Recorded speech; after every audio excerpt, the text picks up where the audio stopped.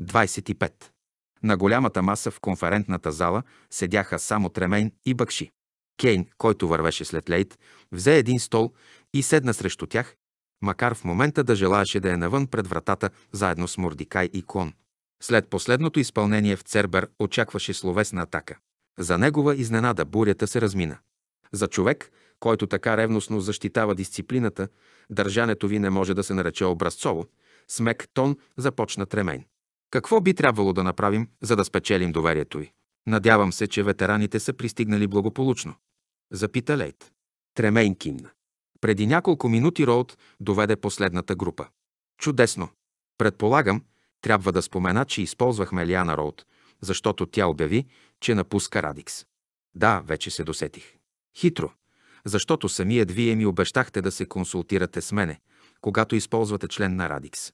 За момент очите на Тремейн блеснаха гневно. Но въпросът е спорен. Каквито и да са бъдещите и планове, Роуд все още е в Радикс. Спорен, как ли не? Бъкши изглеждаше още по-ядосан. Вие нарушихте нашия договор, точка по въпроса. Можете ли да ми посочите поне една причина, която да ми попречи да ви изхвърля още сега на улицата заедно с цялата тази група? Чакайте малко. Не можем да направим това. Прекъсна го Тремейн. Технически ветераните са избягали от затвора. Ако ги хване, Апостолерис ще им наложи тежки присъди. А колкото до блеколарите, те постигнаха целта си. Бъкши изръмжа. Победителите не ги съдят. Е, но аз го правя. Това си беше чиста авантюра и извадихте късмет, че завърши благополучно. Нямаше авантюра, спокойно възрази Лейт. Всичко, което извършихме, беше планирано внимателно. Включително и посещението ми в Хенслоу. Предполагам, че ви е ясна невъзможността да се изведат толкова хора от затвора без огромни загуби. С действията си трябваше да убедим правителството да го направи вместо нас. И успяхме. А колкото до причина, мога да ви кажа една. И то много добра. Лейт се обърна към Тремейн. Разполагате ли с по-голямо помещение, където да говоря пред всички ветерани? Мисля, че гаражът ще свърши работа. Отвърна ръководителят на Радикс. В момента е полупразен. Добре. Бихте ли ги събрали там заедно с тактическата ви група? Ще се присъединим след минута. Тремейн бавно кимна. Дано да знаете какво правите. После махна с ръка на Бъкши и двамата напуснаха залата. Какво ще им кажете? Попита Кейн. Истината, отвърна Лейт. Всичко с изключение на факта, че ти си единственият, който знае къде се намират корабите. Но вероятно те сами ще се сетят за това. Смятате ли, че това е разумно? Ако сте прав, че в групата на Тремейн има шпионин, това е равносилно да повикате силите на сигурността, което напълно ме устройва. Не ви разбирам.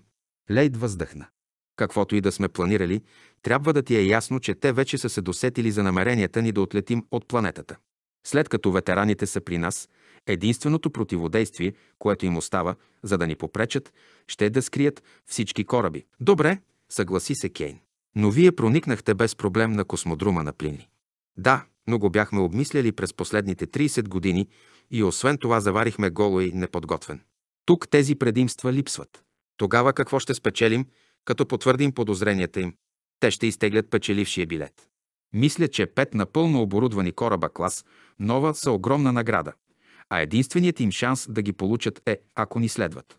Кейн го погледна втренчено и за първи път забеляза бръчките около очите му, които и до най-над не беше успял да изглади. Напълно ли разбирате какво казвате?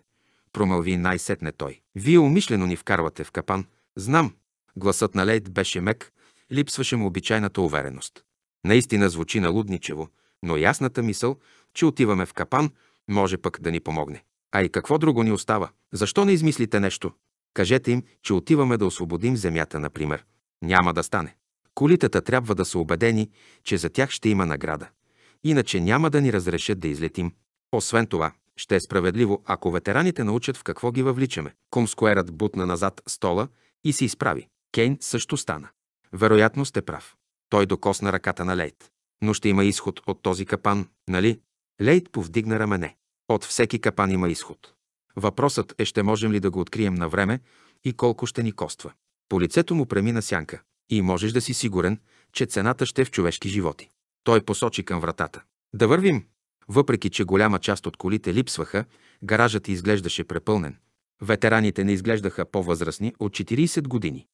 Очевиден резултат от редовната употреба на Идонайн. Едва ли правителството се беше погрижило за тях, което леко промени в положителна посока мнението на Кейн за Радикс. Тремейн се беше настанил върху една от колите и щом видя Кейн и блеколара, махна с ръка, за да въдвори тишина. Знам, че всички се чудите какво по дяволите става тук, започна той, докато заглъхваха последните разговори. Ще оставя на мъжа, който ви измъкна от Цербер, да ви обясни. Представям ви блеколар Комскуер, Лейт от Плинри. Тълпата се раздвижи, за да му направи път, но Лейт отиде до най-близката кола.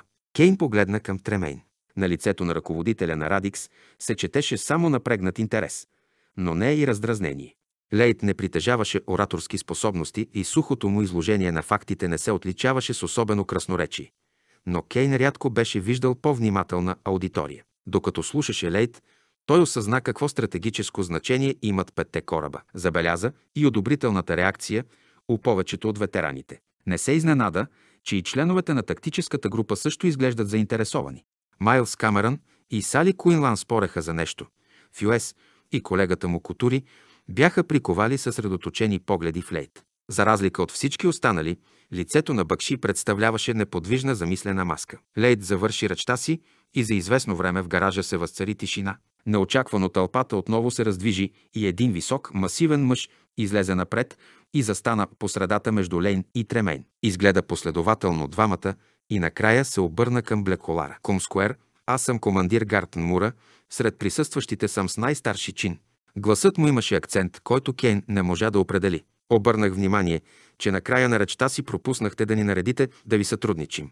Имате ли намерение да издадете подобна заповед и ако е така, на основание на какви пълномощия? Лично аз бих предпочел сътрудничество на доброволни начала, отвърна Лейт. Но след като е необходимо. Той посочи Кейн. Моят колега Алан Кейн е упълномощен от генерал Кратохвил от земята. Аз самият съм пряко подчинен на генерал Лепковски, командващ сектор на Плинри. Това са само думи, възрази Мура. Вярно е, от друга страна, какъвто и документ да ви покажа, вие не можете да го проверите, след като нямате възможност да се свържете с тези, които са го издали. Така е кимнан Мура. Но това не е само проява на упорство от моя страна. Вие искате от нас да заложим живота си и сигурността на семействата си. А аз не мога да дам такава заповед, уповавайки се само на думите ви. Това може да се окаже измамническа клопка. Твърде е проницателен за коли, промърмори Клон. От другата страна на Кейн Мордикай изръмжа в знак на съгласие. Освен това, продължи Мора и хвърли поглед към Тремейн. Оставам с впечатление, че ръководството на Радикс също не ви се доверява напълно. Лейт понечи да отговори, но Тремейн се намеси. Това не е вярно, командир. Нашата активност бе сведена до минимум умишлено по молба на Комскуер Лейт. Но действията им винаги са имали пълната ни подкрепа. Кейн го погледна изненадано. Искреността в гласа на ръководителя на Радикс съвпадаше с тази, изписана върху лицето му. Кейн с усилие запази неутрално изражение и се опита да отгадне какво е намислил Тремейн. Мура продължаваше да се колебае. Отново изгледа Лейт, после пак Тремейн и го попита. Искате да кажете, че се доверявате на Комскуер Лейт. Най-доброто доказателство е, че той е блеколар Комскуер. Това ни дава основание да му се доверим. Разбирам, замислено казан Мура. Приличаше на човек, който се опитва да открие посоката на вятъра в спокоен ден. Но въпреки това, рискът остава. От тълпата се чу глас. Гард, мога ли и аз да кажа нещо? Мура извъртя глава, за да види говорещия. Разбира се, Рейд. Давай.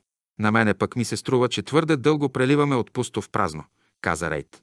Гласът му беше силен и уверен с интонация на неофициален лидер. Според мен тук се открива реална възможност да ударим рикрилите, а всеки, който не вярва на този човек, нека си припомни дали е имало случай, в който блеколарите да рискуват главите си за нещо безнадежно. Около него се разнесе одобрително мърморене и той повиши глас, за да го надвика. Също така мисля, че не трябва да забравяме колко пъти Радикс рискуваха, за да ни осигуряват редовно и Донайн. Нека не оставяме у хората убеждението, че звездните сили оставят неплатени дългове си. С това изявление приключи спокойната част.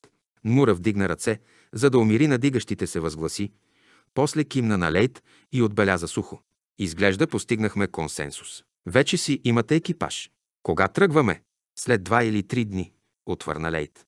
Трябва да намерим транспорт, а вие, от своя страна, трябва да се организирате в екипажи и да обмислите процедурите по излитане. Той погледна Тремейн. Ще може ли Радикс да устрои толкова хора за този период?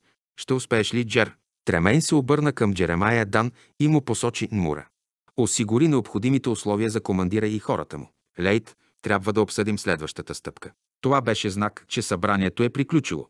Хората се разделиха на групички и заговориха помежду си. Кейн усети как клон го докосна по лакътя. Да се връщаме горе, каза блеколарът. Лейт може вече да се справи сам. Кейн кимна разсеяно. Мислите му бяха заети с друго. Само преди два дни Тремейн беше демонстрирал неприкрита враждебност, а сега с неочаквана бързина се бе превърнал в поклонник на блеколарите. Съмнителна бързина, по-скоро. В най-добрия случай това беше с цел да се представи пред ветераните, а в най-лошия. В главата му изплуваха предвижданията на Лейт относно реакцията на правителството. Не беше честно да мисли така. Може би Тремейн едва сега беше осъзнал важността на мисията. Но ако Лейт беше прав, то някой в Радикс също вече беше наясно с нещата. Кейн потрепери и ускори крачка. 26. Невероятно. Полковник Икинс бавно поклати глава, вперил поглед в чашата си. И то под носа ни. Как мислите, дали все още са в работно състояние? Вероятно, чашата на Голуей стоеше забравена върху бюрото пред него. Някой ден ще разберете, му беше казал Лейт на космодрума в Плинри. Това му беше достатъчно, за да се досети, че блеколарите са последите на нещо голямо. Но чак толкова голямо. Ако системите на корабите са изключени или оставени в състояние на ниска готовност, единственото, което би могло да се случи, е слабо изтичане на гориво или въздух, или незначителна корозия на вътрешните части. Изглежда добре сте запознат, изкоментира Апостолерис, след като приключи телефонния си разговор. Баща ми служеше в звездните сили, обясни Голуей. Дженсън още ли се държи? Апостолерис кимна и каза. Но въпреки това ще го пречупим. Има ли смисъл? Шпионите ви вече доложиха всичко, което би могъл да знае. Защо просто не го убиете? Мъртвата примамка не привлича риба. Или вече забравихте за Скайлър и Новак. Те няма как да разберат, че е мъртъв. И Кинс вдигна поглед от чашата си и каза. Вие все още вярвате, че те ще се опитат да го спасят. Това няма да е като в затвора Цербер, Голуей. Този път ги очакваме. Голуей потри уморено челото си. Знам, но не бих искал отново да ги подценим. Няма, мрачно го увери Апостолерис. А за Дженсън сте прав. Не мисля, че знае нещо полезно. Но Скайлър и Новак са били през цялото време с Лейт и вероятно са запознати по-добре с плановете му.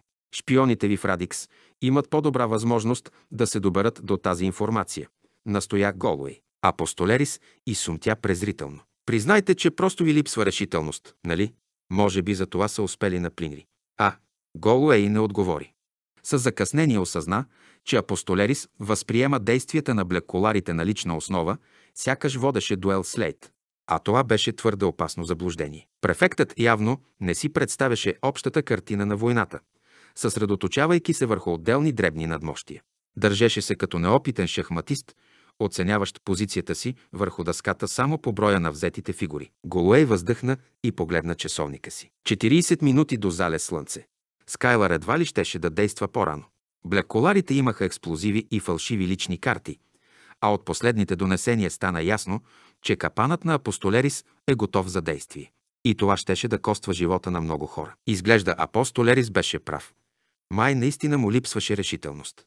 Не му допадаше да се убива ненужно. Голуей се размърда. Взе чашата и отпи от истиналата напитка. До залез оставаха 38 минути.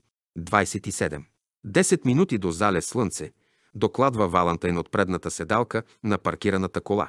Скайлър мълчаливо кимна. Плътни облаци покриваха небето и слънцето не се виждаше. Уличните лампи вече светеха и Скайлър прецени, че скоро ще е съвсем тъмно. Кога тръгваме? Попита го Новак. След половин час. Ще ни е нужен един час да поставим експлозивите, а до тогава ще стане достатъчно тъмно, за да действаме. Докато говореше, огледа бързо околността. Нямаше жива душа.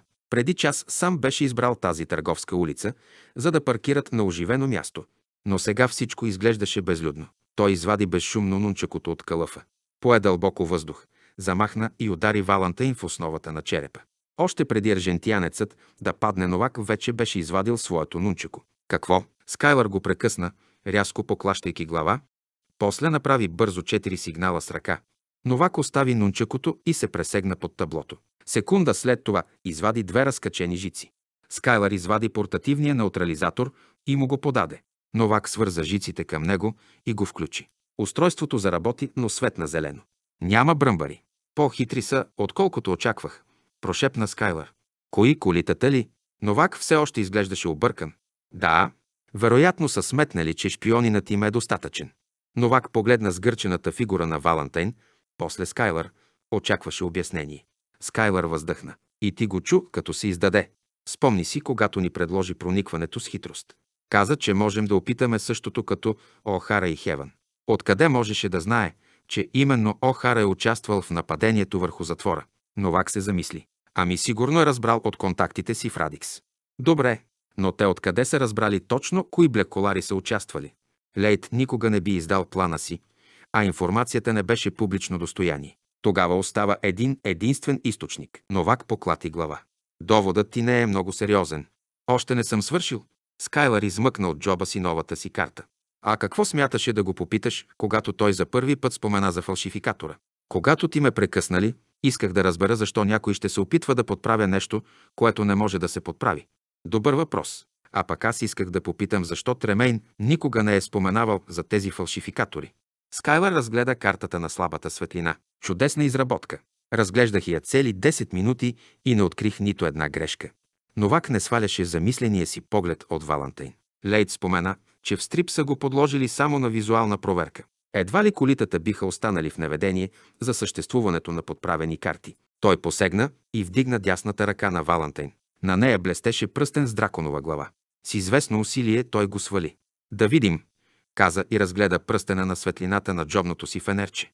Ако е шпионин на колитата, то това трябва да е имитация. Хеме. Зад кръста има знак Центавър А. Той драсна с пръстена върху металното табло и внимателно разгледа дръскотината и върха на пръстена.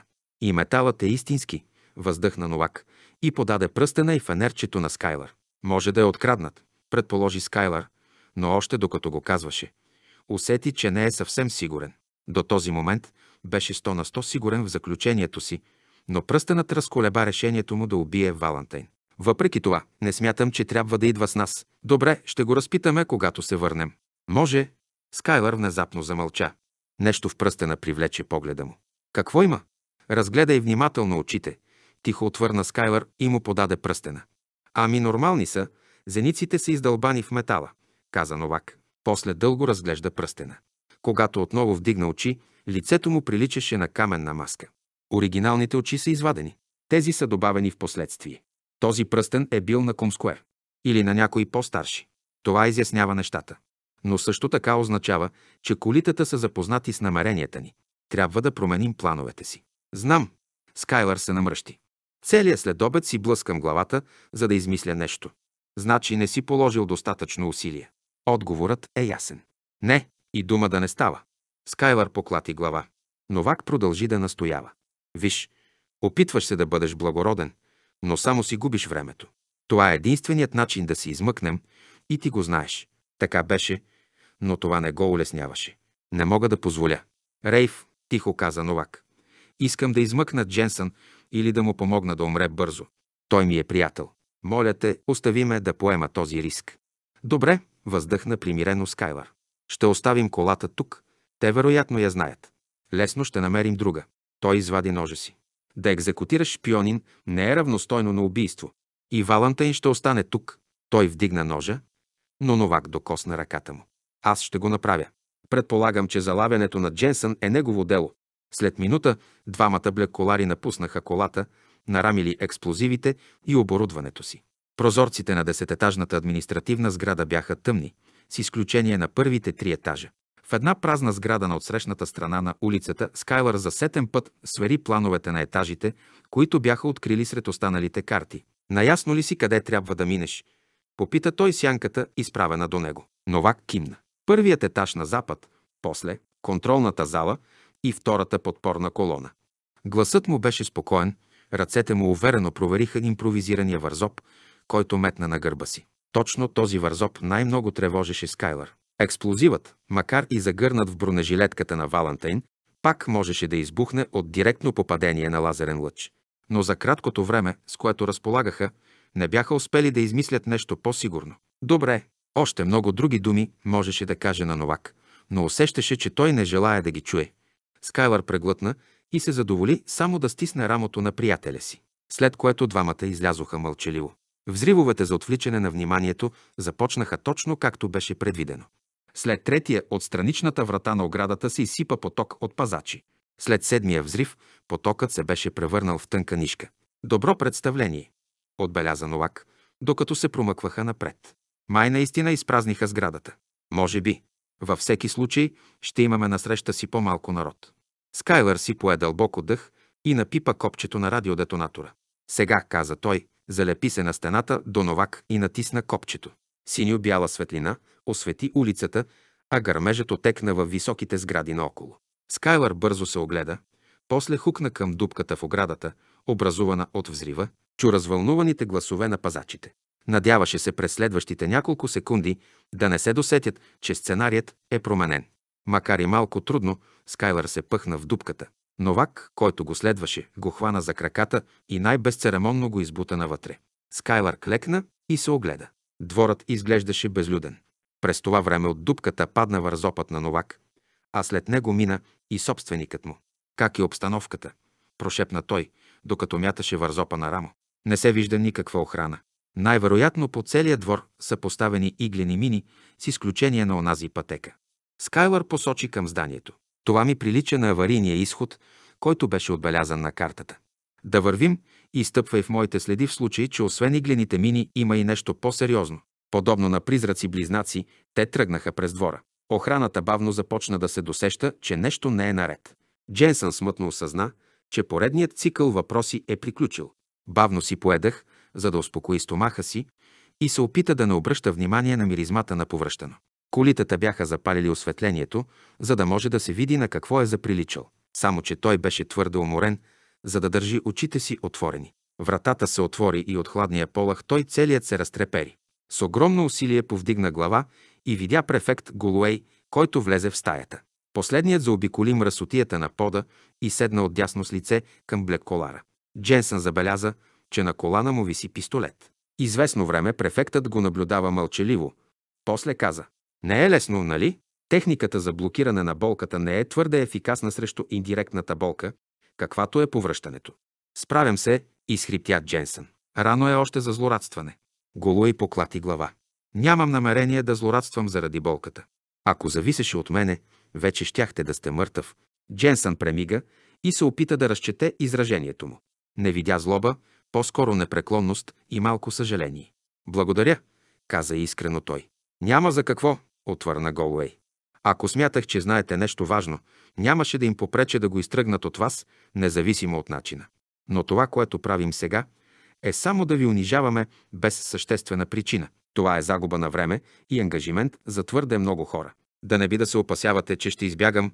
Дженсън едва не се усмихна, представяйки си как пробива кордона на охраната в състоянието, в което се намираше. Всъщност, да. Голуе извади от кобура бластера си, провери предпазителя и го постави върху коленете си. В този момент Скайлър и Новак се намират на отсрещната страна на улицата и се готвят да предприемат опит за освобождаването ви. Дженсън усети как отново му прилушава. Не, не можеше да бъде.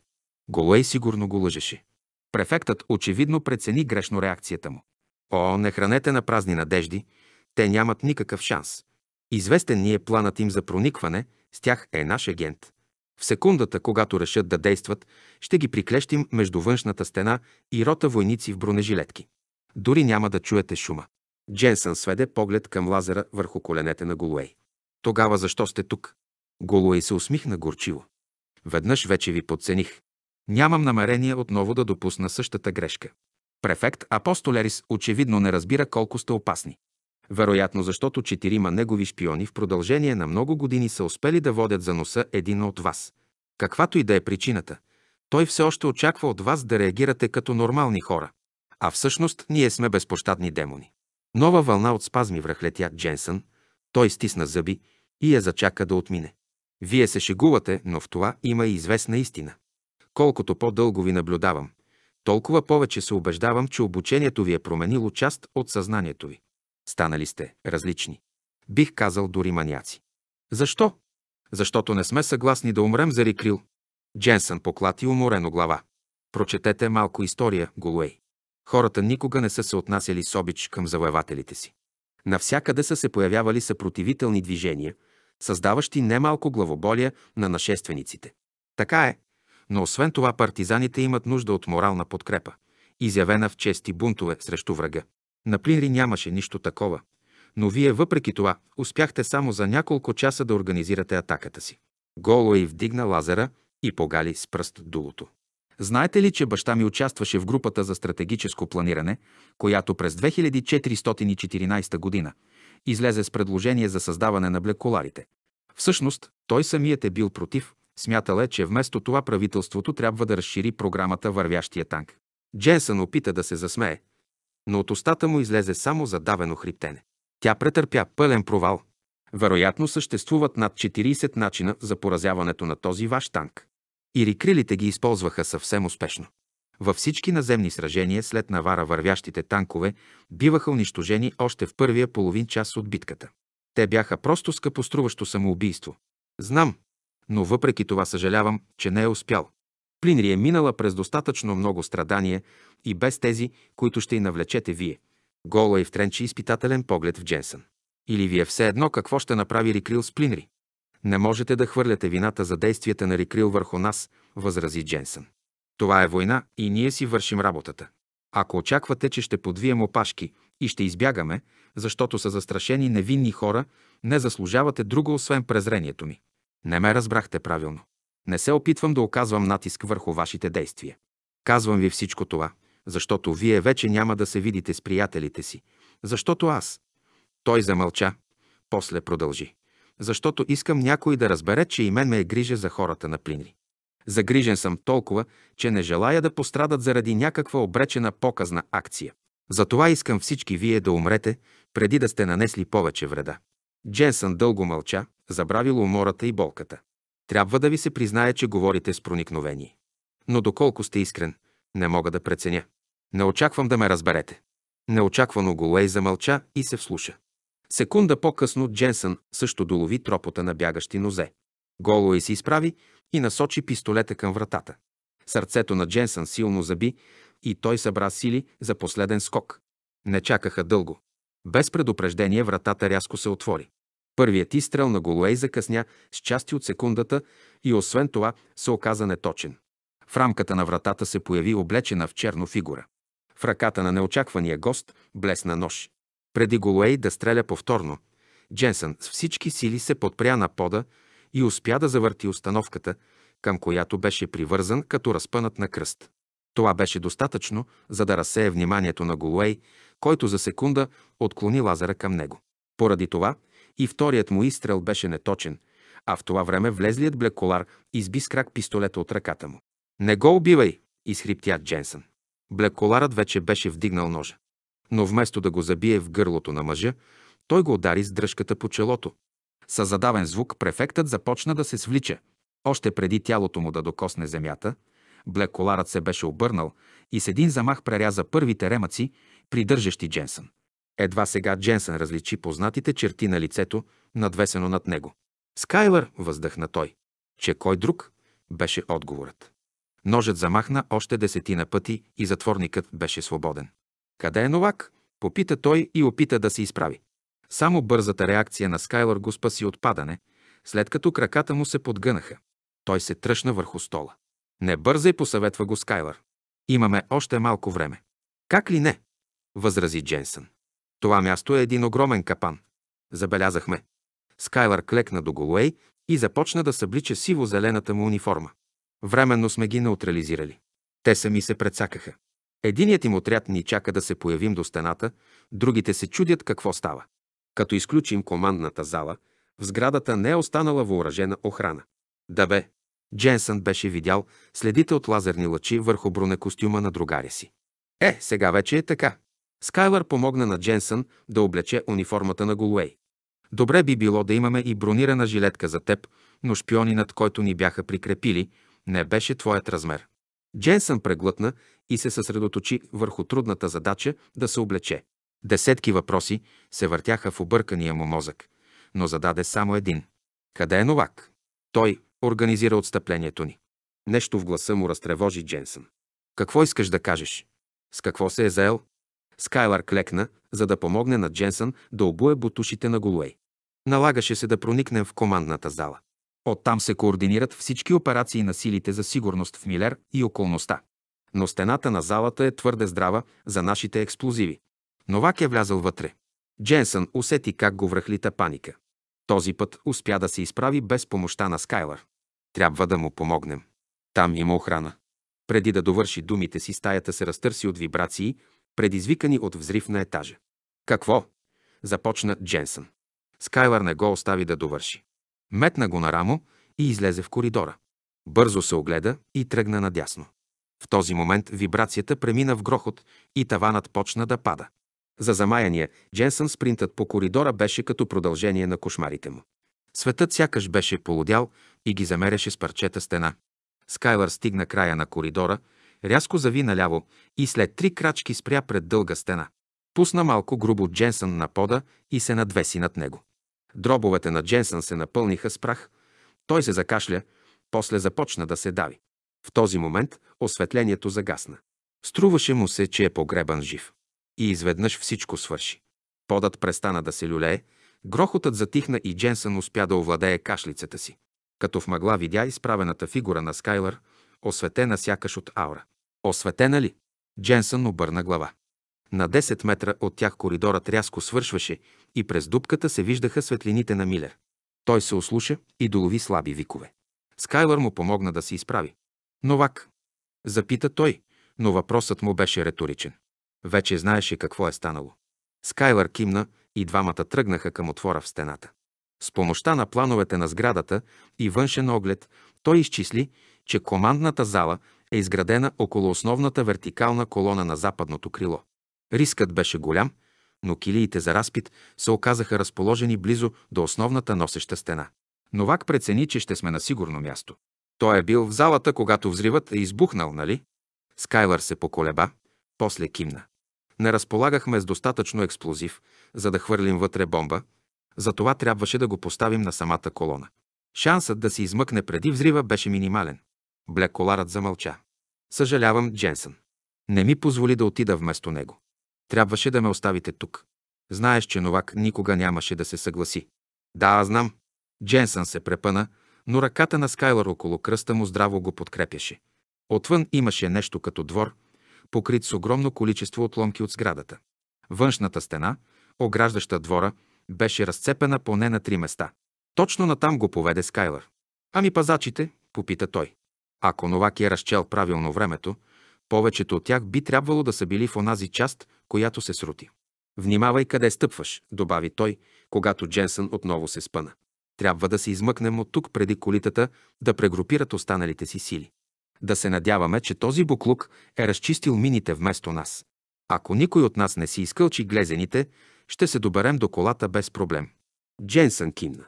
Вървенето бързо измукваше последните му сили. Усещаше как главата му олеква. Скайлър Голуей ми каза, че в Радикс има четирима шпиони. Каза, че са успели да заблудят един от блеколарите. Значи четирима А. Мрачно отбеляза Скайлър.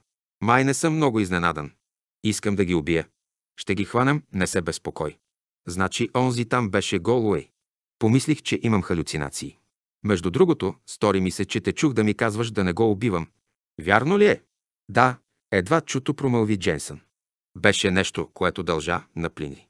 Последното, което усети преди да изгуби съзнание, бяха ръцете на Скайлър, обгърнали тялото му. 28. Мордикай намери нужната му врата, спря и се ослуша. Отвътре долитаха приглушени гласове. Въпреки късния час, обитателите на стаята не спяха. Той хвърли последен поглед към безлюдния коридор и почука леко. Само след секунда вратата се отвори. Мордикай! възкликна изненаданият Фюес. Заповядайте, влезте.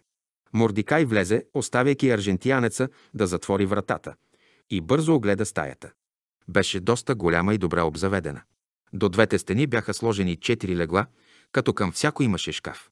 В средата, около кръглата маса, с карти в ръцете седяха Маккитерик и Котури.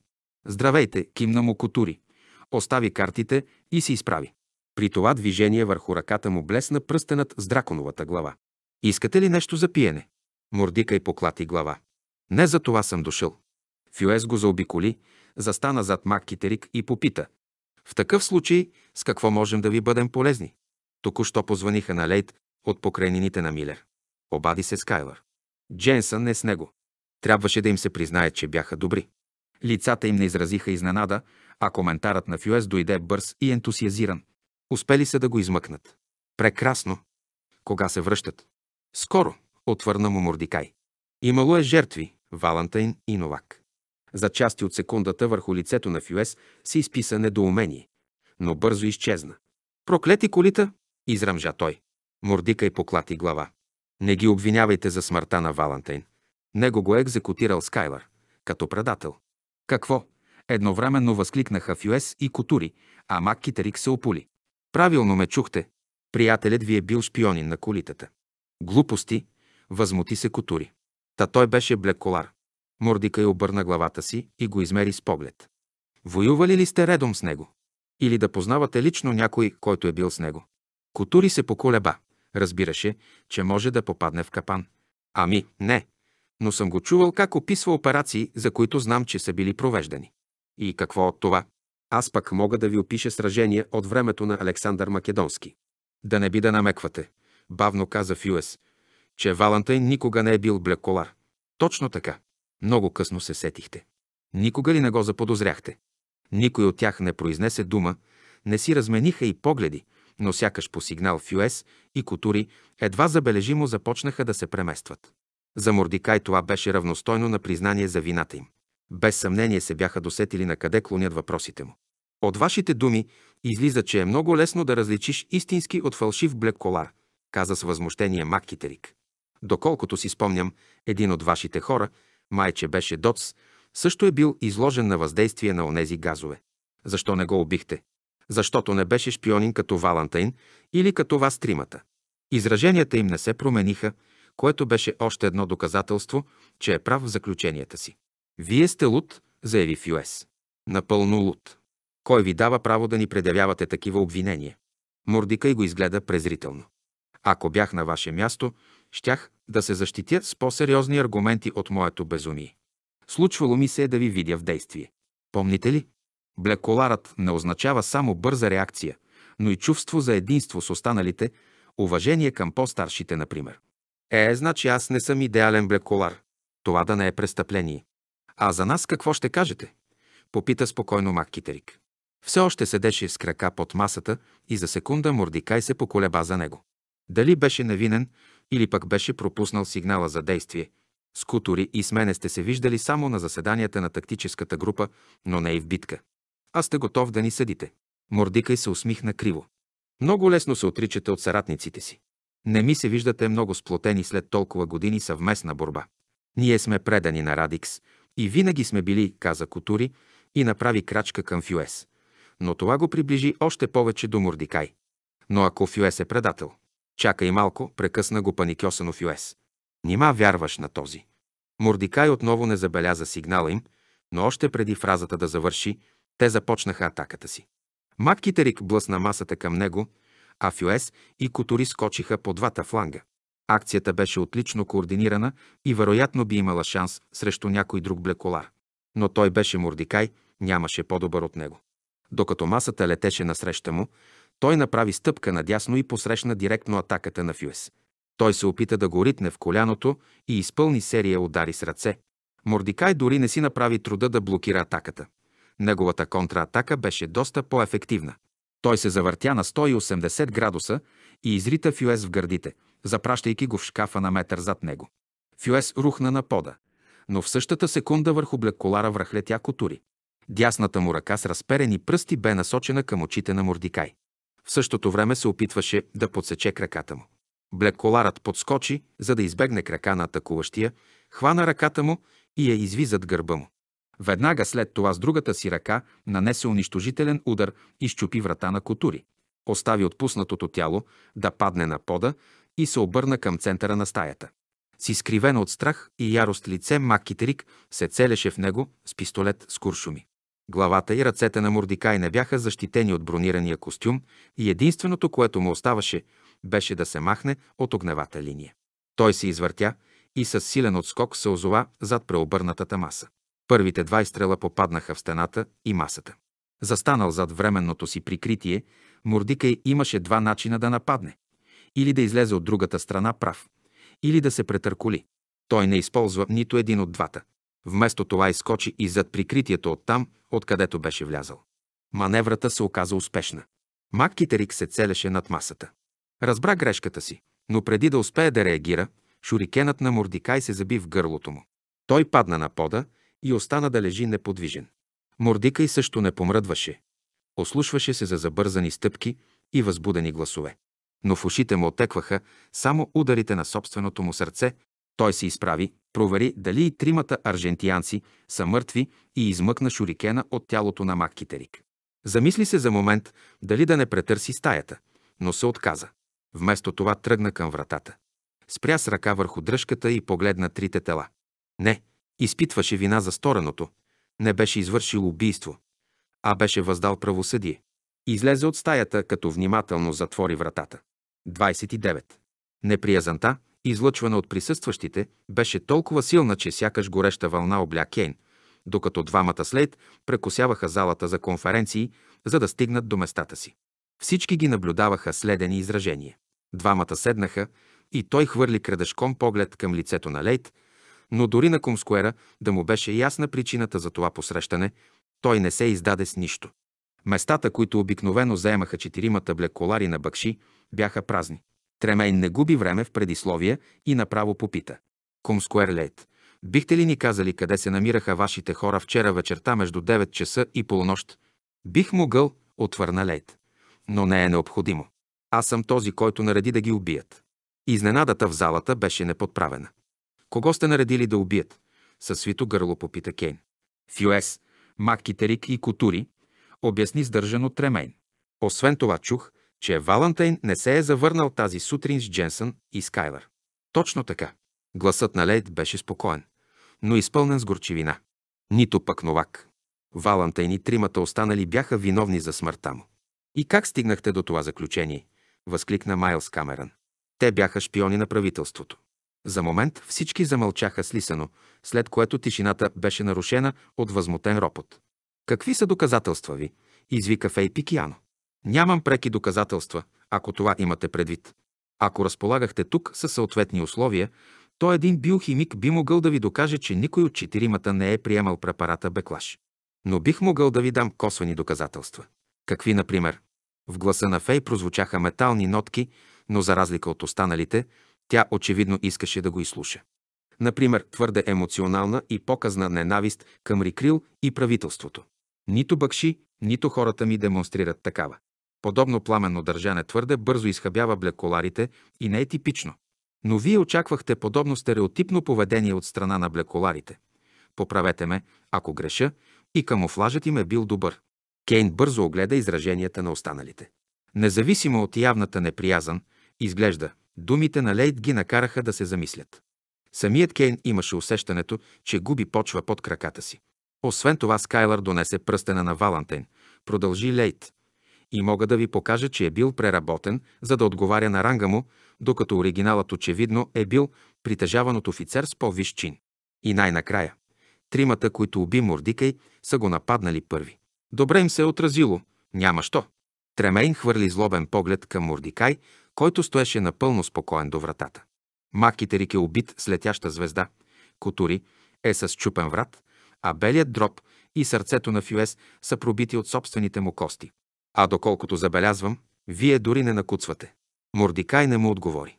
Това не променя факта, че един истински блеколар не би атакувал в подобна ситуация, а първо би се опитал да се оневини. И как би станало това? Изрева Камерън. Вашите думи срещу техните. Помисли Майлз. Неочаквано заговори Бъкши. Всички ние бяхме в тренировъчния център на Центавър А. Съществуват хиляди дребни неща и процедури, които един истински блеколар би трябвало да знае.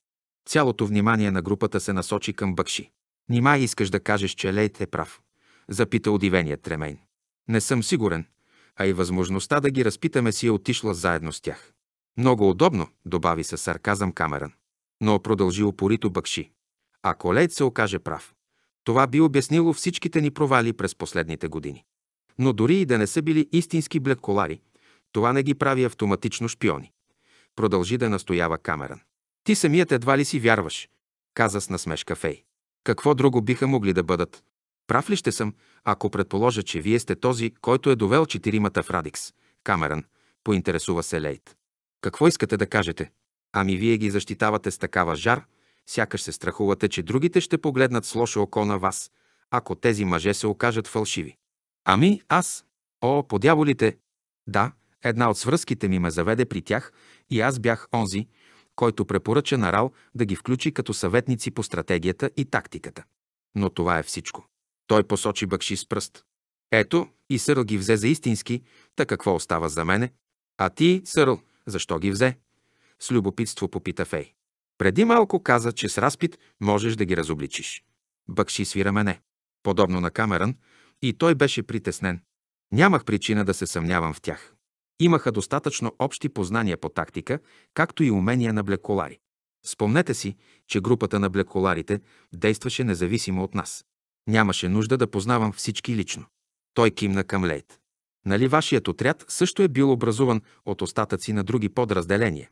Всъщност разбрах, че един от хората ви е имал поражение на нервната система, подобно на онези, които твърдяха, че имат фюес и останалите.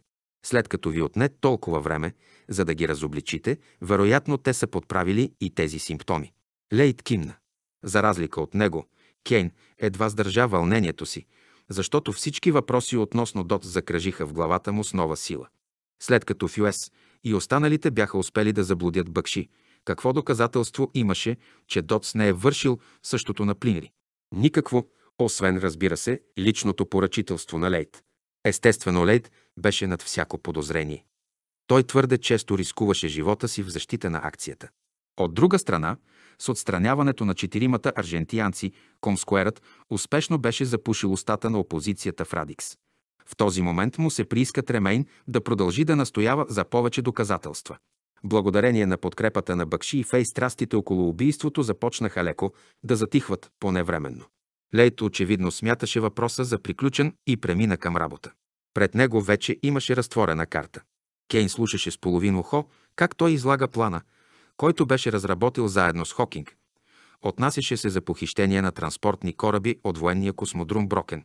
В този момент стана ясно, че опозицията срещу методите на Лейт не е умряла с Фюес и компанията му.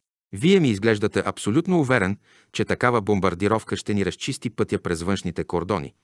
Преди от кулите да открият огън и рикрилите да докарат допълнителни сили, каза Сали Куинлан и поклати със съмнение глава.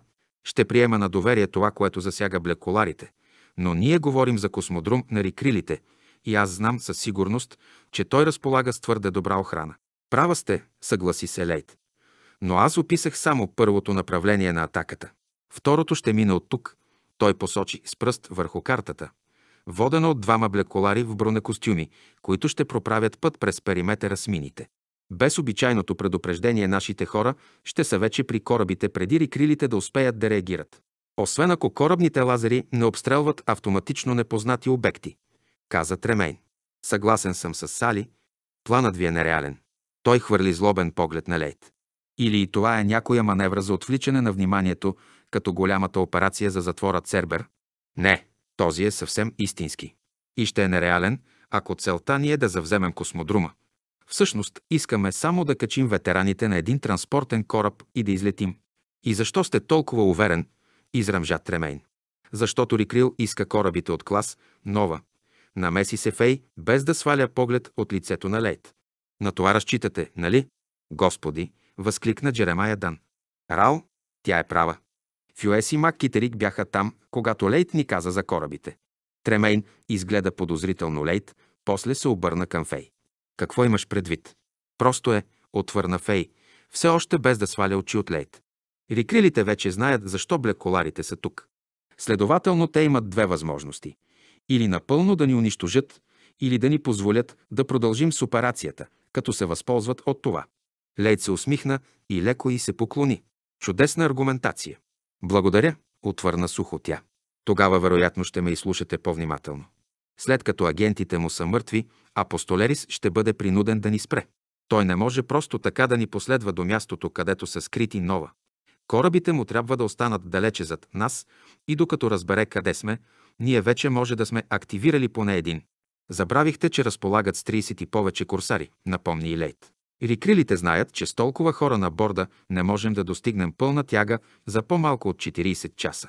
Могат да ни следят от тук, дори само по следата от двигателите и пак ще имат достатъчно време да изпратят корсарите. Това означава, че корабите се намират на 40 часа от Аржент, отбеляза Бъкши. Така е.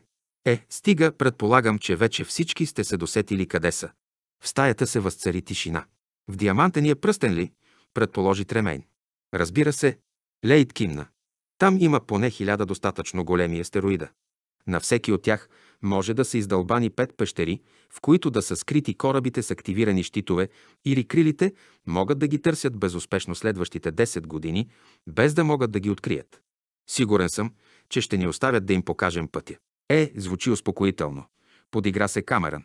И какъв тогава е смисълът на упражнението, след като рикрилите така или иначе ще ни хванат? Защото ние знаем нещо, което те не знаят, обясни спокойно Лейт.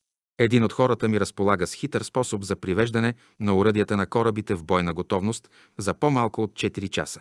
Ако успеем да разположим корабите в удобна позиция, можем да задържим всякакви атаки на рикрилите, докато пуснем двигателите. И защо до сега не сме чували за това чудодейно средство? Изрази подозрението си Тремейн.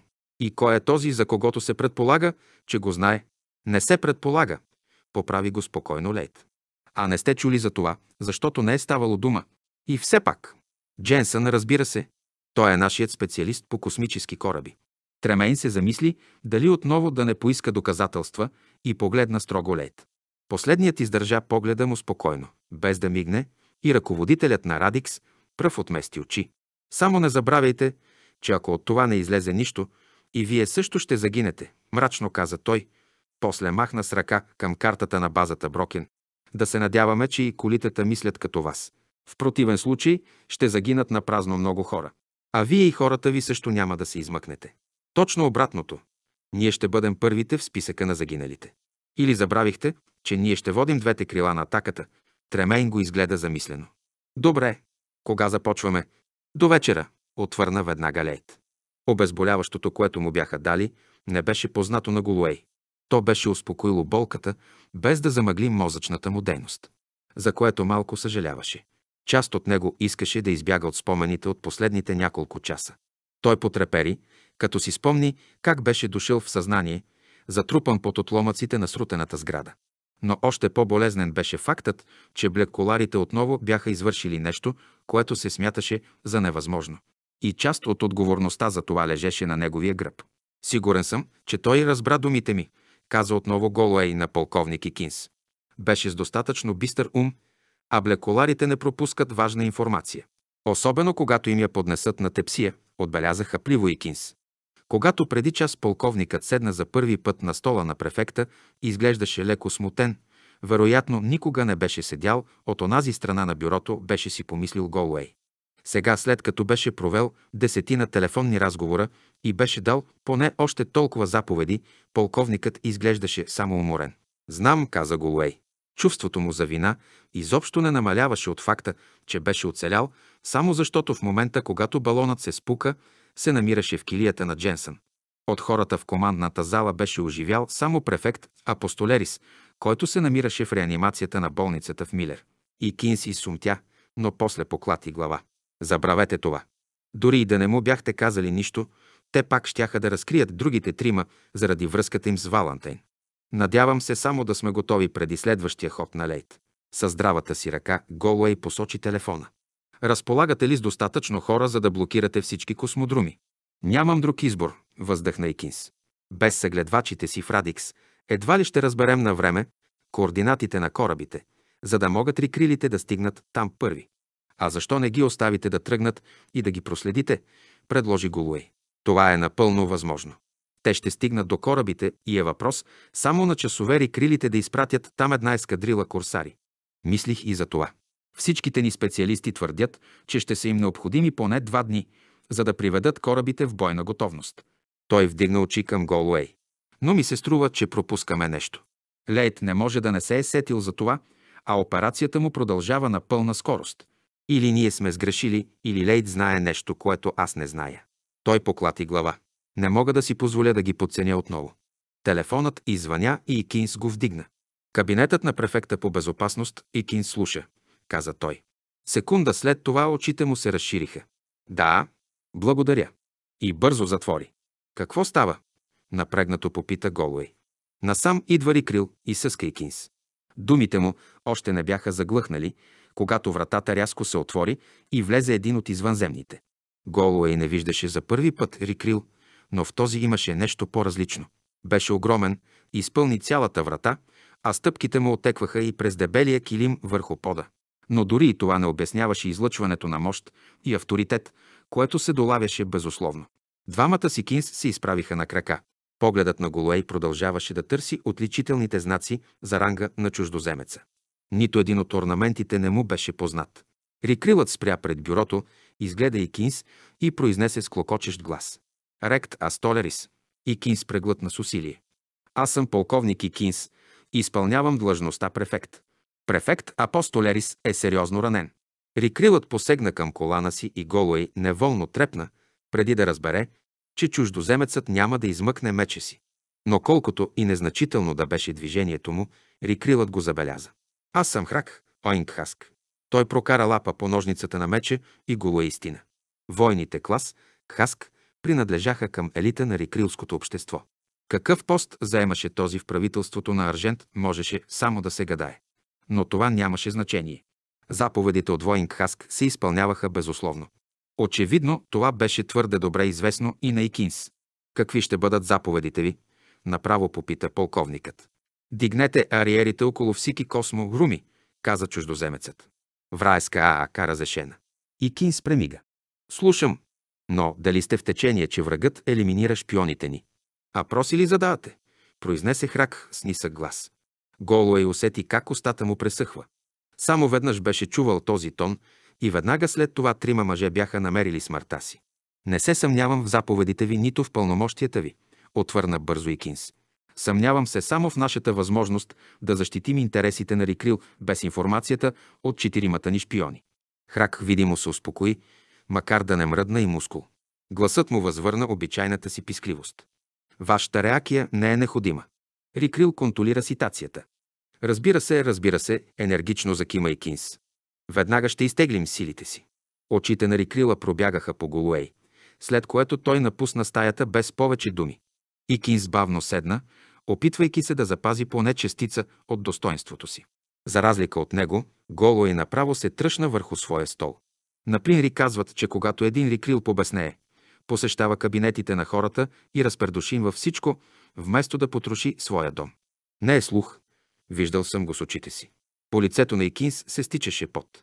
Голо и погледна към заещата врата. За какво беше всичко това? Икинс прокара ръка по лицето си. Изглежда, че ще приведат в действие плана на апостол Ерис. Но това е рисковано. Ако Лейт крие още един кос в ръкава си, ще изгубят всичко. Прав сте, каза замислено Икинс. Но вероятно те няма да чакат, докато Лейт стигне до корабите, за да действат. Голуи осъзна на къде бие полковникът. Искате да кажете, че рикрилите си имат свой високопоставен шпионин в Радикс. Не би ме изненадало. Известно време се гледаха мълчаливо и Голуей разпозна в очите на другия мъж своето собствено недоволство от тази информация. Двамата не казаха нищо. След малко и Кинс посегна към телефона. Предстоеше му да отмени редица заповеди. Подготовката на предстоящата операция включваше уточняване на куп подробности. Така че когато Лейд се върна в помещението на блеколарите, беше вече късен следобед. Потънал в мислите си, той бавно влезе в стаята и чак когато затвори вратата, забеляза, че в стаята има гост. До прозореца седеше Лиана Роуд и разговаряше за нещо с Кейн. Леко раздразнен, Кумскуерът се приближи до Хокинг, който наблюдаваше внимателно разговарящите, седнал до масата. Как са Дженсън и Скайлър? Попита го Хокинг. По-добре са, тихо отвърна Лейт. Вейл каза, че Дженсън страда главно от обезводняване и силна атрофия на стомаха, заедно с няколко изгаряния от лазер и електрически шок. Скайлър пък е схванат от обгарянията, но до два дни ще се оправи. Но ще се наложи да пропусне бойната ни нощ. Той кимна леко към Лиана. От кога е тук? Около 10 минути, отвърна Хокинг с неодобрение. Не исках да я пускам, но Кейн настоя. Очевидно се е оговорил предварително за тази среща, преди да поема смяната от клон. Лейт погледна към Мордикай, който се бе облегнал до вратата, И той кимна, потвърждавайки подозренията на Хокинг. За какво говорят? Не мога да доловя какво казва тя, но разчитам по устните отговорите на Кейн. Прилича ми на нещо като доклад от разузнаване. Лейт изпъшка. Е, ще се наложи да си тръгне. Не му е сега времето на Кейн да се прави на генерал. Той махна леко с ръка, за да привлече вниманието на Кейн, но в този момент двамата се изправиха и тръгнаха към вратата. Докато се разминаваха, Лиана кимна на Комскуера, а Кейн го изгледа студено. Мордика и затвори вратата след Лиана и Лейт се обърна към Кейн. Какво значи това? Бях я помолил да събере тихомълком малко информация от Камерън и Сали Куинлан. Лейт кимна. Е, и? Само допреди три часа Брокен гъмжал от сили на сигурността, които изграждали кордон от външната страна на главната ограда. Наблюдателите на Сали казват, че после съвсем неочаквано всички напуснали. Същото се случило и на останалите космодруми. Още едно любопитно нещо. Някъде в ранния следобед те видели да излитат необичайно голям брой корсари и никой след това не е докладвал за приземяването им. Застраховат се, промърмори Хокинг зад гърба на Лейт. Вероятно ще се пръснат сред диамантения пръстен с надеждата, че някой от тях ще се окаже по-близо до корабите нова от онези, които ще ни последват. Изглежда разумно, съгласи се Лейт. Да, кимна Кейн. Но не ви ли се струва странно, че силите на сигурността остава само да ни връчат официална покана да отидем на Брокен? Хубав въпрос. А не ти ли се струва странно, че са изпратили корсари да ни чакат? Както каза Хокинг, застраховат се. Застраховка срещу магическите способности на Дженсън най-вероятно. На Кейн му беше нужно малко време, за да осъзнае чутото. Нима намеквате, че в групата все още има шпионин? Невярващо попита той. Това не е ли малко прекалено дори и за хитрец като апостолерис? Може и да греша. Искрено се надявам да е така. Защото благодарение на вашата малка лъжа силите на сигурността ще затегнат още по-яко примката около врата ни. Излъгахте за Дженсън, нали? Успокой се. Но пък накарах Тремейн да дойде с нас. Прекрасно. Значи всички ние ръка за ръка ще се хвърлим в обятията на силите за сигурност. Кейн замълча, изпепелявайки с поглед Лейт. Знаете ли, Лейт, ще ви трябва някой дяволски добър номер, за да се измъкнете. Знам, може и да имам такъв, но ще трябва да изчакаме, за да видим дали ще свърши работа. Кажете ми за какво става дума. Съжалявам, но не мога. Отнася се до Доц, нали? Настоя Кейн. Оборудвал е своя корсар със специално оръжие, нали? Лейт поклати глава. Съжалявам. Налага се да ми се довериш. Кейн го изгледа с стиснати устни. Повтаряте ми тази фраза от дълго време. Но и аз нося отговорност за тази мисия, а търпението ми се изчерпи. Ако искате да ви се доверя, същото ще трябва да направите и вие. С идването си тук рискувах живота на всички ни. Тихо отвърна Лейт. Загубихме хора на Плинри, а тук умря Новак. И можем да загубим още хора тази вечер. Това ли искаш? Казах ви, искам да знам какво ще стане, когато намерим корабите нова. В стаята надвисна тишина. Лейт усети с какво внимание Хокинг и Мордикай следят разговора. Знаеше, че и двамата се чудят какво е планирал. Съжалявам, повтори Лейт и с това приключи разговора. Елате тук, добави комскуерът и тръгна към масата, където седеше Хокинг. Нямаме много време, а има още подробности за уточняване. Да, сигурно, тихо каза Кейн. Лейт забеляза раздразнението в гласа му, но реши да не му обръща внимание. Наближаваха последната отсечка и нямаше място и време за мрънкачи. Кейн сам трябваше да преодолее наранените си чувства. 30. Кейн нямаше богат опит от участие в бойни действия, но за сметка на това имаше не лоша теоретическа подготовка, а и наблюдателният му пункт. Лежеше по корем върху покрива на един от товарните камиони, му даваше възможност да наблюдава операцията като от трибуна. Това, което виждаше, водеше до едно единствено заключение. Нападението протичаше изключително гладко. Кейн остави за малко бинокъла, за да изтрие очите си от пота, която се стичаше под бойната му качулка. Двете атакуващи групи се придвижваха практически безпрепятствено по ярко осветеното поле на космодрума. Срещаха само незначителна, спорадична съпротива от страна на рикрилите. Както винаги Лейд се оказа прав. Чуждоземците искаха групата им да излети безпрепятствено, затова правеха всичко възможно, за да не ги откажат. Кейн усети тежеста на лазерния си пистолет на колана и въздъхна. Нямаше съмнение, че сред тях продължаваше да има шпионин. Той се опита да сподави вълнението, което го обзе при мисълта за това, което му предстоеше да стори. Кейн, Дочу шепот отдолу. Надникна на тръба на покрива. На слабата светлина различи десетина фигури, които се движеха между камионите. Точно под Кейн една от тях гледаше към него. Тук съм, прошепна той. Време е да тръгваме, отвърна познатият глас на Мордикай. Кейн се плъзна до ръба, провиси крака от страни на камиона и след секунди се озова притиснат между Мордикай и Скайлър в претъпкания с ветерани камион. Как изглеждат нещата? Тихичко го попита Скайлър. Вървят като по масло. Камионът рязко потегли. Пътуването не продължи дълго. Колкото и да напрягаше слуха си, Кейн не чу нищо интересно. Само веднъж различи далечна експлозия, която вероятно означаваше, че вратата на летището вече е отворена. Последва остър завой, няколко минути пътуване с висока скорост, след което камионът спря. Още преди пътниците да се осъзнаят, вратите на камиона се отвориха и нечии гласове им викнаха да побързат. Кейн беше от първите, които слязоха, и веднага се огледа. Намираха се в частта за граждански полети до два огромни товарни кораба. Четири от пете им камиона вече бяха пристигнали и от тях се изсипваха хора и се трупаха пред слабо осветените люкове на корабите. Отстрани стояха членове на Радикс, въоръжени с лазерни пистолети. Изпълняваха едновременно роля на охрана и регулировчици. Между корабите се образуваше нещо като коридор и в дъното му Кен забеляза светлини от пожар. Какво гори? Попита той Мордикай, когато последният го поведе към по-близкия кораб. Нищо важно, отвърна вместо него приближилият се от другата страна Скайлър. Първият ни камион беше натоварен с запалителна смес, която се разпръскваше отпред и отзад. Спадафора го паркира между нас и кулата и я запали.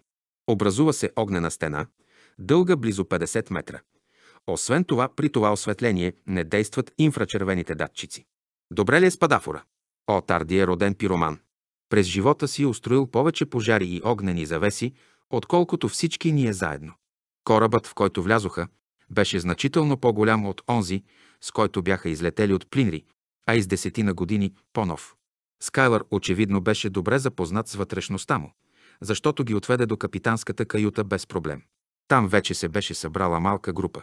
Освен Лейт, Бъкши и Тремейн, там бяха командир Мура и трима от неговите хора. Командирът извършваше бърза проверка на контролните уреди. Тремейн седеше на пулта за комуникации. Кейн си намери едно свободно място в дъното на каютата и зачака. След няколко минути корабът започна да се издига. Стана така плавно, че ако не беше чул заповедите, Кейн щеше да го пропусне. През следващите няколко секунди на екраните все още можеха да се видят светлините на космодрума, но Мора очевидно бързаше да се измъкне от обсега на противовъздушната отбрана на Аржент, затова корабът започна бързо да набира скорост, а изображенията се замъглиха. Уж небрежно Кейн постави ръка върху дръжката на бластера си. Излязохме в орбита, доложи единият от пилотите. Чейнбрейкър второ римско ни следва. Няма следа от преследвачи. Няма да е задълго, казан Мора и се обърна към Лейт. Трябва да знам къде отиваме, Комскуер. Добре, кимна Лейт. Твой ред е Кейн. Все още не, отвърна Кейн и извади пистолета си от кобура. Първо трябва да неутрализирам още един агент на правителството. Всички притихнаха и в настъпилата тишина тихото жужене на приборите му се стори оглушително. Пръв заговори Лейт, без да откъсва очи от лицето на Кейн, все едно, че не забелязваше пистолета, насочен в гърдите му. Какво правиш по дяволите? Кейн не му обърна внимание. Всички да се отдръпнат до стената. Нареди той през стиснати устни. Лейт, ако се предадете доброволно, ще имате възможност да се защитите пред съд. В противен случай ще ви убия сега. Кое избирате?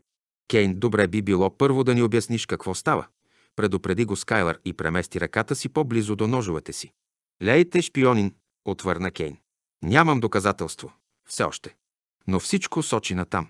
Как иначе ще обясните, че всяка операция, която предприема, завършва успешно? Той мръдна леко пистолета. Е, Лейт, ще позволите ли на Бъкши и Инмура да ви завържат? Кейн, ти си се побъркал. Но ако това ще те накара да се почувстваш по-добре, ето. Лейт повдигна ръце и в същия момент скочи. Движението беше съвсем неочаквано, но Кейн беше готов и преди Лейт да прекоси пространството от 3 метра, което ги разделяше, приклекна и стреля.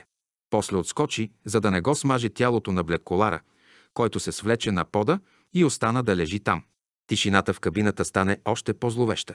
Кейн стоеше с насочен пистолет и внимателно наблюдаваше падналия блеколар. Лейт лежеше на една страна със свити крака. Дясната му ръка беше преметната неестествено над главата, а лявата сякаш искаше да запуши отвора в бронята, издълбан от лазера. Кейн можеше да долови миризмата на изгоряло месо дори и от мястото, където стоеше.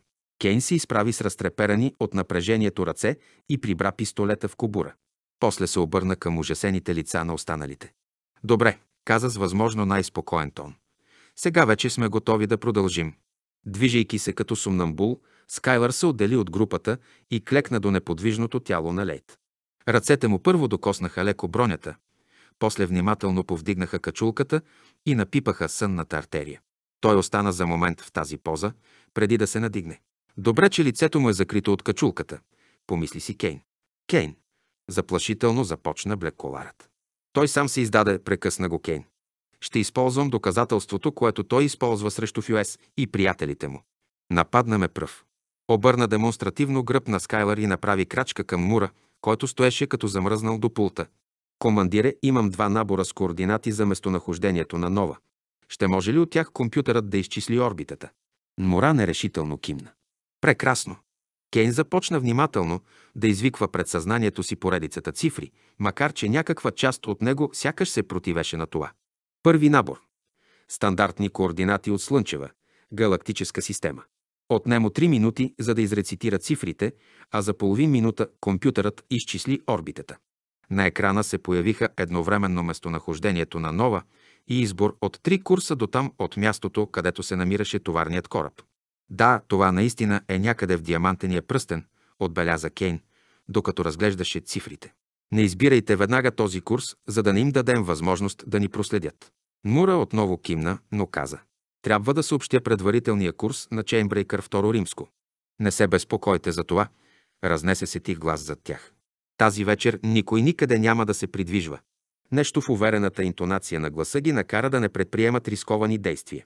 Бавно, отдръпвайки ръката си от кобура, Кейн се обърна. В най-отдалечения край на каютата с насочен към тях пистолет стоеше Бъкши. 31. Съществува един прак, при чието достигане човек губи способност да реагира на стрес адекватно. Като видя студеното лице на Бъкши, Кейн реши, че тяхната група е достигнала този прак. Вълнението след неговия изстрел срещу лед все още не беше отихнало и сега всички просто се вцепениха. Сърл, какво правиш? Изръмжа Тремейн. Скайлър, отиди до останалите, нареди Бъкши, без да обръща внимание на Тремейн. Ръцете ви да останат на нивото на гърдите и не забравяйте, че рефлексите ми не са по-лоши от вашите. И не ми пречи да виждам Кейн и бластера му. С периферното си зрение Кейн видя, че Скайлър изпълни заповедта. Кого смяташ да убиеш? Запита той насмешливо. Никой няма да умре. Със същия тих тон отвърна Бъкши. За всички участници в тази операция ще има амнистия, включително за Кейн и за вас, блеколарите, но само ако се предадете доброволно. Командир Мура, уведомете другия кораб, че се връщате на Брокен. А ако откажа? Запита скованон Мура. Оставането им тук е безсмислено. Те не знаят къде се намират нова. Напомни му Бъкши. Предател? Думата излязла от устата на Тремейн, беше изпълнена с нечовешка ненавист. Долен предател. Изпратете съобщението, командире, повтори Бъкши. Кейн забеляза, че Бъкши говори, без да ги гледа, което го озадачи и в беси Тремейн. Погледни ме проклет да си, изкрещя ръководителят на Радикс. Или не ти достига мъжество за това? Устните на Бъкши се разтеглиха в подобие на лека усмивка. Извинявай, Рал, но в момента ти не представляваш интерес за мен, за разлика от командо с Мордикай. Мордикай ли? Възкликна Тремейн и се извърна наляво. Кейн също бавно обърна глава. Мордикай стоеше неподвижен под прицела на пистолета на Бъкши. Най-добрият ръкопашен боец. Така го беше нарекал веднъж Лейт. Сега изглеждаше някак остарял и нерешителен. Ти ме надцени, Кумскуер, прошепна блеколарът, повтаряйки като ехо мислите на Кейн. Не мисля така. Фюес, Мак Китерик и Котури не бяха блеколари, но в замяна на това бяха изключителни бойци. Моето уважение към всеки, който е успял да ги победи, и тримата. Така че не смятам да свалям поглед от теб. Значи от самото начало сте знаели, че са лъжеблеколари, бавно каза Кейн. Предполагам, че и те са знаели за вас. Колко жалко, че Мордика и ги е убил така бързо. Това едва ли щеше да ви помогне. Те не знаеха за мене. Аз докладвах директно на рикрилите. На рикрилите значи. Гласът на Тремейн беше невероятно спокоен, но лицето му бе изкривено от дива омраза. Да предадеш собствената си раса за колко? Каква е сега тарифата? Пак ли е 30 сребърника на човек? Не очаквам, че ще ме разберете, но се опитвах да помогна, каза с въздишка Бакши. Да бе, без предатели изобщо нямаше да можем да функционираме. Нямаше да оцелеете. Сряза го Бакши и за първи път леденото му спокойствие се пропука. С видимо усилие той възвърна самообладанието си. Когато заговори отново, в гласа му имаше нотка тъга. Нима не разбирате, почти умолително каза той, че Рикрил никога не би допуснал съществуването на нелегално съпротивително движение близо до предния боен фронт на крайселите. И за това реши да ни кастрираш. Така ли? Тремейн беше готов да го заплюе. По-добре това, отколкото пълно унищожение. Главните квартири в Милер и Каларант бяха гъсто населени с шпиони на Апостолерис. Щяха да ви затрият само за една нощ. Вероятно щяха да заличат цели градове, за да са сигурни, че са унищожили всичките ви групи. Това ли искаш за Аржент, Рал? Бъди искрен. Тремейн си пое дълбоко дъх. Мисля, че има и по-лоши неща от това да умреш за кауза, в която вярваш. Например, да живееш като нечий блюдолизец. Очевидно нищо не разбираш, каза уморено Бакши. И дръпни ръката си от бластера. Не! Гласът на Тремейн беше спокоен. Нямам никакво намерение да приемам подаяние от крили. Хайде, безгръбначно, покажи дали ти е останала някаква смелост, застреляй ме. Рао започна предупредително Бакши.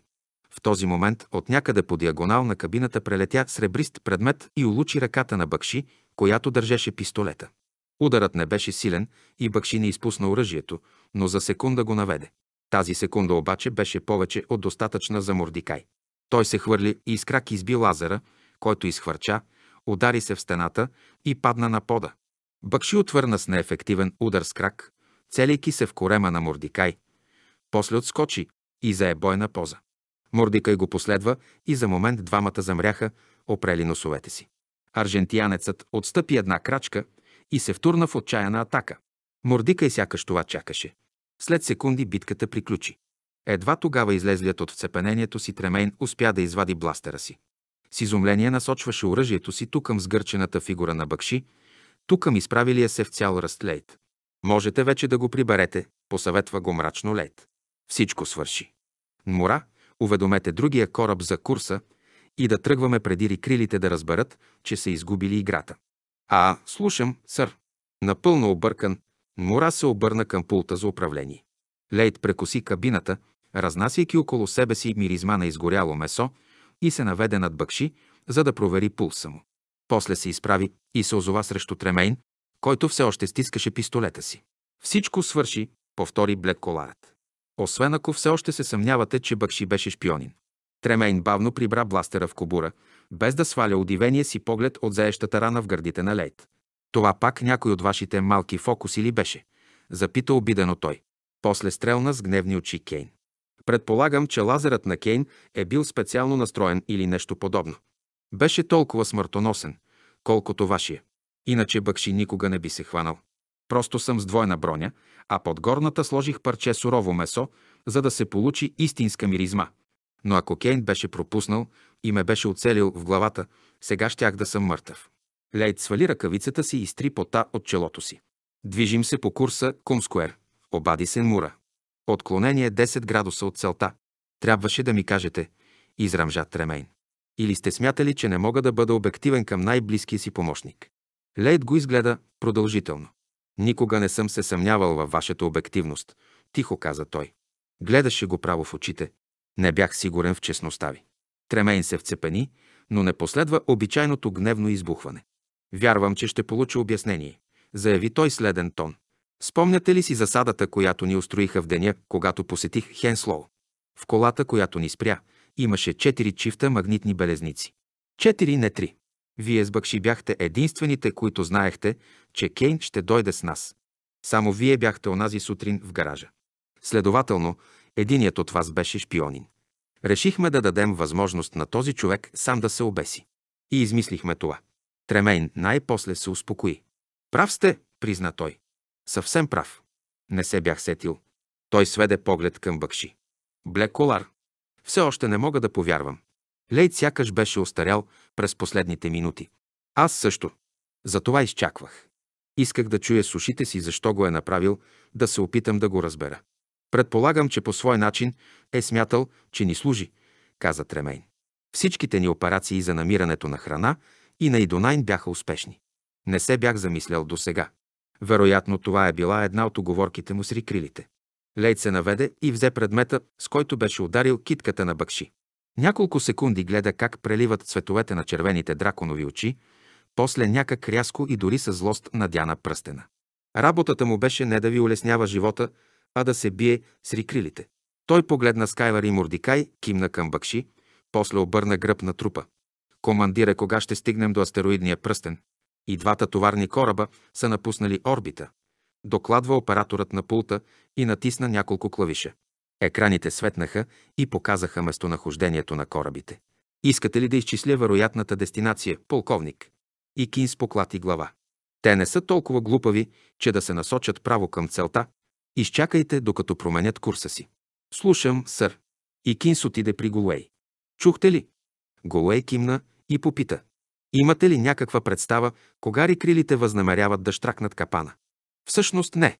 И Кинс отново погледна към екраните. Ако бях на тяхно място, щях вече да го направя. Мислите ли, че ситуацията отново излиза от контрол? Не знам. Голуей усети как болката в главата му се усилва. Може Кейн да им е дал само курса, но не и точното местонахождение. А може Лейт да е успял да надхитри агента на рикрилите. И Кинс го изгледа остро. Надявате се да го е направил, нали? Бих казал дори, че ще останете доволен, ако рикрилите загубят тази битка. Не съм сигурен, призна Голуей. Ако в момента се намирах на някой от онези кораби с бластер в ръка, без съмнение щях да се опитам да ги спра с цената на живота си. Но аз съм тук, където не мога да направя нищо нито за едните, нито за другите. Трудно е да се обясни. Бях подготвен да служа на Рикрил, но това винаги е било тясно свързано с задълженията ми към хората на Плинри. Като префект аз поддържах реда на планетата от части, защото така ми бе наредено, от части, за да запазя населението от репресиите на Рикрил. Той кимна към екраните. Всеки успех на Лейт, а дори и залавянето му, ще струва скъпо на Плинри. Но ако блеколарите по някакъв начин доведат до успешен край започнатото, Лейт вероятно ще успее да смекчи наказанията срещу нас. Опита се да поклати глава и се намръщи от болка. Мислите ли, че в думите ми има логика? Не знам. И Кин замълча. Не мисля. Не съм съгласен с вас. Но вие сте уморен и ранен, добави любезно той. Хайде да слезем долу. Там има две койки. И двамата се нуждаем от малко сън, а те няма къде да отидат през следващите 30 часа. Прав сте. Голуи недоумяваше защо полковникът не може да го разбере. То беше толкова ясно. Обичаше родината си. Прав сте, повтори той. Освен това, мисля, че имам нужда от ново хапче. Съгласно бордовите разпоредби на Чейнбрейкър, първо римско беше нощ. Лейд влезе в командната кабина и се удиви колко ярки изглеждат звездите върху екраните. Естествено, някои от тези звезди бяха астероиди. Щом чу стъпките му, единственият обитател на кабината се обърна към него. Здравейте, Кумскуер! С какво мога да ви бъда полезен? Преди половин час дежурният офицер трябва да е получил кодиран сигнал от другия кораб. Може ли да го погледна? Лейтенант Инуй отдъхва в от компанията. Ако останете тук, мога да отида и да го извикам. Ако не ви затруднявам. След като вратата зад астронавта се затвори, Лейт преброи до пет и се захвана за работа. Отнемо няколко секунди, за да извика последните коригирани данни за местонахождението на Нова. Пренастройването на комуникатора му отне значително по-дълго време, но нямаше как друго яче. Съобщението трябваше да достигне до обширна част на диамантения пръстен, но не и до Чейнбрейкър Второ Римско. Най-накрая беше готов. Кодирането на координатите беше просто, добавяш една и съща константа и ги пренареждаш, нещо, което можеше да направи и на сън. Помоли се да не е сгрешил и натисна бутона за излъчване. Не дочака потвърждение, че съобщението му е прието. Такова нямаше да има. Вместо това изчисти памета на предавателя и екрана на компютъра и възстанови предишния режим на работа. Когато пилотът се върна заедно с лейтенанта, Лейт се беше надвесил над локаторите, които следяха небето за преследвачи. 32. Ето, възкликна Тремейн и почука с пръст по екрана. Това трябва да е. Кейн погледна двете колони числа върху екрана на компютъра и ги сравни с тяхното местоположение. Мисля, че сте прав, съгласи се той. Проклетото чудо трябва да е само на няколко километра от нас Измърморин Мура, загледан в скалата с неправилна форма, заела центъра на екрана. Ако са включени защитните им щитове, ще ни отнеме часове да ги открием. На нас ни трябва да намерим само един, отбеляза мрачно Тремейн. Имаме шанс дори и с един, стига Дженсън да включи урадията му. Кейн хвърли остър поглед на Лейт. Смяташе, че Комскуерът отдавна е казал на Тремейн истината за магическите способности на Дженсън, но изглежда, че грешеше. Тремейн, започна той. Какви са последните данни за курсарите? Прекъсна го Лейт и му хвърли предупредителен поглед. Кейн се ядоса, но замълча. Трите, които тръгнаха от Аржент, са на 6 часа от нас, отвърна астронавтът, дежурещ на локатора. Но засякох още четири. Приближават се към нас от различни посоки. Започнете веднага търсенето. Обърна се Тремейн към Мура. Вече сме съвсем близо. Следващите три часа се сториха на Кейн най-дългите и същевременно най-късите в целия му живот. Въпреки, че и двата кораба претърсваха астероидния пояс по-отделно, резултатите от търсенето започнаха да го довеждат до отчаяние. Очевидно, Нова бяха добре екранирани, а и техните кораби не разполагаха с нужното оборудване. Агонията му се засилваше от факта, че самият той с нищо не можеше да помогне. Беше принуден да наблюдава безпомощно как върху едните екрани се нижеха скала след скала, а върху другите нарастваха изображенията на корсарите. Точно върху тези екрани започна по-често да се спира погледът му. Преследвачите летяха с пълна мощност, без да правят опит да се прикриват. Без съмнение Бъкши беше предал на началниците си лъжата на Лейт за Дженсън и сега техните войни се опитваха да предотвратят нещо, което нямаше да се случи. Плашеше го мисълта, че от корсарите могат да изстрелят ракети с голям обсек на действие и да не дочакат Лейт да завърши това, което беше планирал. За да оплътни времето, Кейн отново се замисли за Лейт. От самото начало, след пристигането им от Плинри, той следваше стария блеколар буквално по петите и играеше непрекъснато по свирката му. Независимо от това обаче, Лейт оставаше за него една огромна загадка.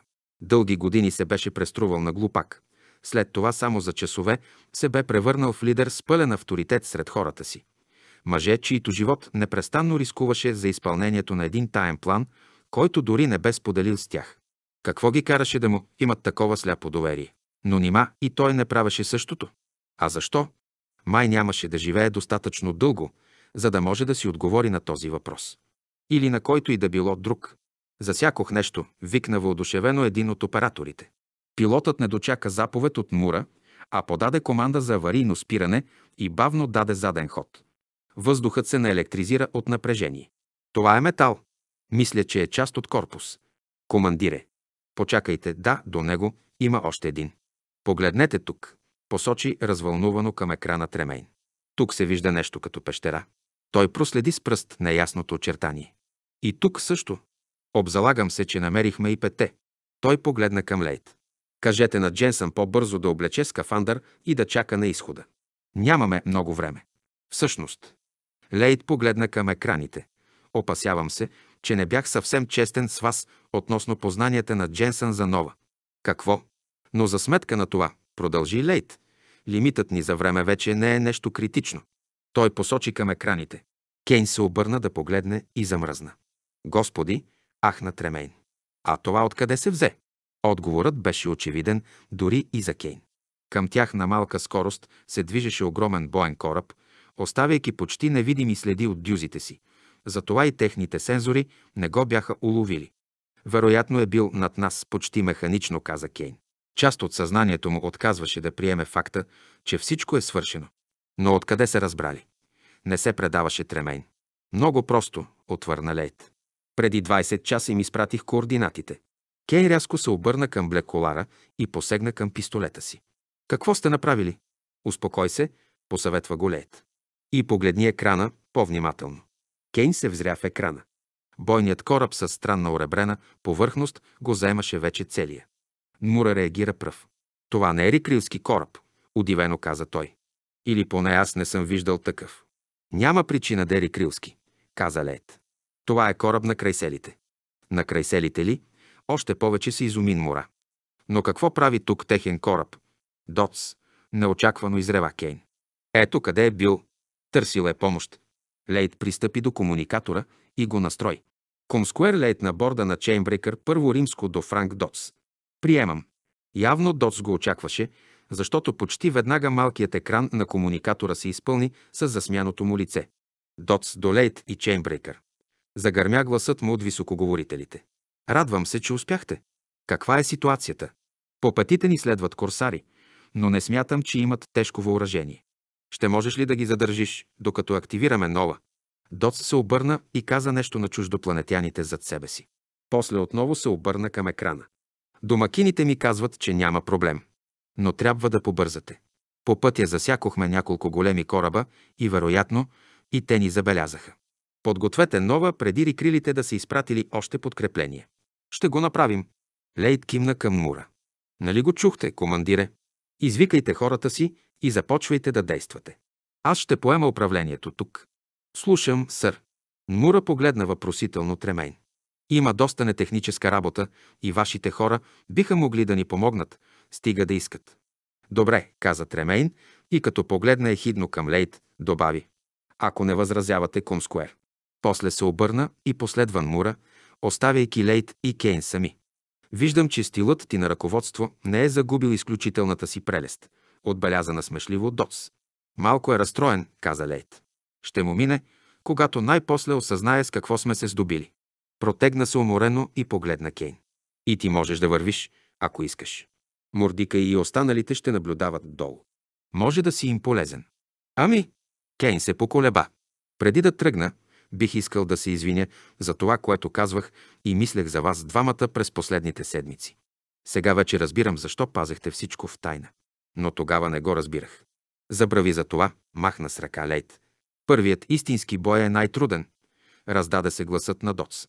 Но виждам, че сте се справили добре. По-добре от много други. Благодаря. Кейн отново се обърна към Лейт. Все пак можехте да ни кажете за кораба на крайселите още преди три часа. Тази информация щеше да се отрази добре върху кръвното ми налягане. Имах си причини, свира мене Лейт. По-скоро обещание към мен. Неочаквано се обади Доц. Доц. Не, Лейт, няма проблеми, увери го блекколарът. Все някога ще се разбере. А ситуацията сега е съвсем различна. Кейн местеше недоумяващо поглед от единия към другия. И започна да се досеща. Съществуваше само един мъж, когато Лейд би изпратил за помощ при крайселите. На Плинри само един човек ги познаваше достатъчно добре, за да изложи молбата и те да му се доверят. Лейд изглеждаше изпълнен със съмнение, но по изражението на Кейн Дотс разбра, че той се е досетил. Кейн изправи рамене, погледна към екрана и козирува. За мен е чест да се запозная с вас, генерал Лепковски. Очевидно докладите за вашата смърт не са били съвсем точни. 33. Съгласно плановете на кораба, това помещение трябваше да е кают компания номер 3, но с изключено осветление и без защитния купол приличаше на грандиозен планетариум. Звездите сякаш нарочно се бяха скупчили над пластмасовата полусфера. Наблизо се виждаха останалите нова и двата товарни кораба. На близката орбита висеше грамадата на крайселския кораб. Той продължаваше да следи за нови атаки от страна на рикрилите, които вече бяха изгубили половината от корсарите си. Вратата на каютата се отвори. За момент Кейн се напрегна, но после видя, че е лейт и се отпусна. Здравей! Знаех, че ще те намеря тук. Блеколарът се отпусна на отсрещното кресло. Кейн кимна. Последните два дни беше прекарал доста време тук. Мястото беше добро за размисъл, а той имаше върху какво да помисли. Какво ви води насам? Попита той. Ти. Дочух, че не си доволен от развитието на преговорите. О, и аз не знам, въздъхна Кейн. Вероятно всичко е нормално. Добре е, че ще разширим междупланетните полети, съгласен съм с отстъпките, които извоювахте за економиката на Ди, но ми се струва, че бихте могли да поискате много повече. Като, например, рикрилите напълно да се изтеглят от Ди, Кейн усети как се изчервява. Ами да, призна той. Винаги съм възприемал тази акция като първата стъпка за връщане статуквото на Ди от преди войната. Великолепна мисъл, съгласи се Лейт. Опасявам се обаче, че в реалния свят нещата не стават точно така. Ако поставим такива изисквания към рикрилите, на тях няма да им остане нищо друго, освен да се обърнат срещу нас с пълна сила. Това ще даде малко отдих на крайселите, но ние нищо няма да спечелим. Отстъпките ни не означават, че се предаваме. Двата кораба нова, които даваме на крайселите, ще накарат рикрилите да вложат повече бойни сили във войната и те няма да могат вече така адекватно да реагират на събитията в Ди. Възобновяването на междупланетните пътувания ще даде възможност да се координират по-добре съпротивителните усилия в отделните колонии. Какво ще произлезе от това, не мога да предскажа, но смисълът е, че нещата не са зле и от наша гледна точка. Може и да сте прав. Кейн се поколеба. Разкажете ми за Доц. Няма много за разказване. Ню Карачи беше под обсада и моята задача беше да заведе Лепковски в резервния команден пункт. Трябваше да се промъкнем през двери крилски засади. Пред себе си виждаш това, което остана от целия ми отряд. Дори и след 30 години си личеше, че спомените са мъчителни. По-късно рикрилите започнаха атака. Ню Карачи бе изтрит от лицето на планетата, а с това се сложи край на съпротивата на Плинри. Значи прибрахте генерала и го превърнахте в блеколар. Да, но не мина без големи спорове. Остатъците от неговата армия, макар и без главнокомандващ, се събираха, за да дадат последен отпор на рикрилите, а той искаше да се добере до тях и да им нареди да се предадат. Така и не успя да го направи. Това струваше живота на много хора. Мисля, че това беше основната причина да пазим в тайна самоличността му дори и от останалите блекколари. На нас двамата ни костваше много да опазим тайната му. Мисля, че разбирам. Съмнявам се, възрази Лейт кротко. Ще разбереш едва когато сам командваш отряд. Той замълча. Какво смяташ да правиш, след като приключим тук? Ще се върнеш ли на земята? Този въпрос отдавна занимаваше Кейн. Не знам, призна той. Там е моят дом и искам да го избавя от рикрилите. Но той не довърши. Все още си и много ядосан, защото не са ти казали, че си клонинг, нали? О, не, не е за това. По-скоро се опасявам, че като се върна, всички, които познавам, ще са мъртви или в затвора. Ще съм сам. И какво лошо има в това? Забравяте, че съм създаден, за да заменя Алан Риензи и да създам на колитата колкото може повече неприятности, преди да ме заловят. Е, мисля, че успях. Но никой не ме е обучил в някои по-общи неща. Например, как да създам моя нелегална група, как да организирам и проведа операция. Дори не знам как да се опазя, ако ме преследват. Смяташ ли, че рикрилите ще опитат пак да те хванат? Съмнявам се, че отстъпките, които издействахте за жителите на Плинри и Аржент, въжат и за мене. Не съм сигурен дали са разбрали каква малка заплаха представлявам аз. Може би, но защо не ги оставим с това заблуждение? Ако искаш, ела с нас на Плинри. Предложението беше съблазнително. Да живее сред блеколарите. Благодаря, но не мога, със съжаление отвърна той. Само ще ви преча. Не ме разбра. Не ти предлагам място за криене. Лепковски скоро ще има нужда от опитни бойци, а Плинри изглежда логично място за подготовката им. Разполагаме с най-добрите учители, трябват ни само способни ученици. Имате предвид обучение за блекколар ли? Да, доколкото можем. Разбира се, без препарата Беклаш няма да успеем да те направим съвсем истински блекколар. Лейд се поколеба. Освен това, вероятно ще си навлечеш неприятности. Разбрах, че Голуей се връща на Плинри. Сигурно ще ни наблюдава зорко като ястреб. Кейн се замисли. Където и да отидеше, рикрилите щяха да го преследват, а ако формулата за беклаш съществуваше някъде, то най-вероятното място беше Земята. Това беше една заслужаваща внимание задача, може би по-ценна от пете кораба клас Нова. А той знаеше в чии ръце да предаде формулата, след като я открие. Убедихте ме, каза той. Единственото ми условие е да ме върнете на земята, след като завърша курса и не забравяйте, че докато съм на Плинри, ще имам нужда от лекарството против астма. Ще го уредим без колебание, каза Лейт. Вече наредих в лабораторията да приготвят толкова, колкото да натоварим цял камион. Кейн го погледна с удивление. Ама вие сте били много самоуверен. А ако бях отказал, тогава щях да имам само за себе си цял товар хистрофин. Пошегува се комскуерът. Но бях сигурен, че ще се съгласиш. С теб доста си приличаме. Той се изправи и тръгна към вратата. Утре сутрин започваш обучението. Ще се видим в залата. Дълго след като вратата след Лейт се затвори, Кейн остана загледан в тъмнината. Комплиментът на блеколара го беше поразил. Приличал на Лейт, виж ти. Висока оценка, която трябваше да заслужи. Рикрилите дори не подозираха какви неприятности ги очакват в бъдеще.